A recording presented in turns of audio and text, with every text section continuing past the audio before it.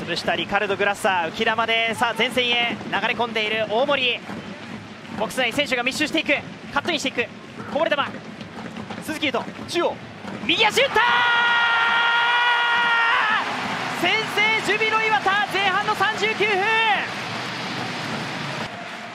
まあこの大森がねここ持った時になんかいなかったんですよね、はい、でこのパスちょっと意図的ではなかったんですけど次言うとこのスペースのない中で膝下からの振り早かったですよね、はい、ここですよねコントロールから。いやコースもね見えたところしっかりと打てましたよね。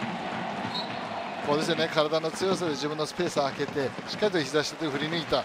コースの非常にねいいコースに飛びました。非常にいいゴールだったと思いますね